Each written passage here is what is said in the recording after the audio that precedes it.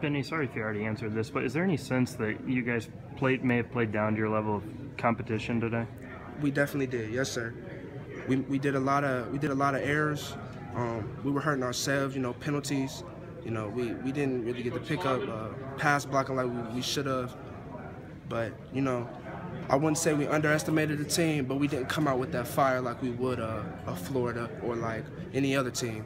So, like Stu said before, he, he's definitely going to get on us early um, next week and the weeks to go on. That we he's going to get us focused early. So. What's it like for you guys? It seems like week in and week out you're playing and you know low scoring, pretty tight yeah. games. I yeah. mean, is it is there ever any frustration that sometimes you guys are as an offense aren't putting away the other team? I feel like we get frustrated at times because we, are not understand. It's always just something. It's always mm-hmm. something, but anytime we come off the field, like I like you like y'all see, you know, it, it's rough for us in the early.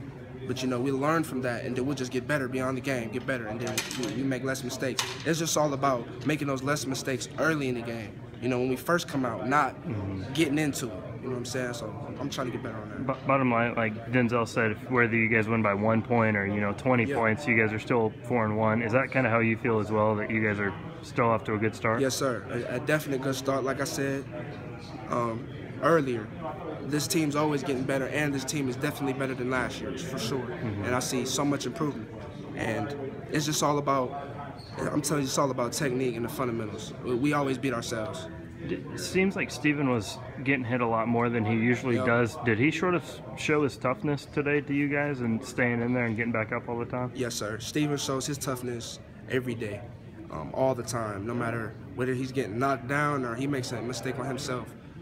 Steven, Steven makes the team better all the time. And, you know, me, myself, and the line, we always try to do our best to, to so he takes less hits and not do that because I hate seeing it myself. Mm-hmm. But, you know, it is what it is and we just got to prepare more harder. Thanks.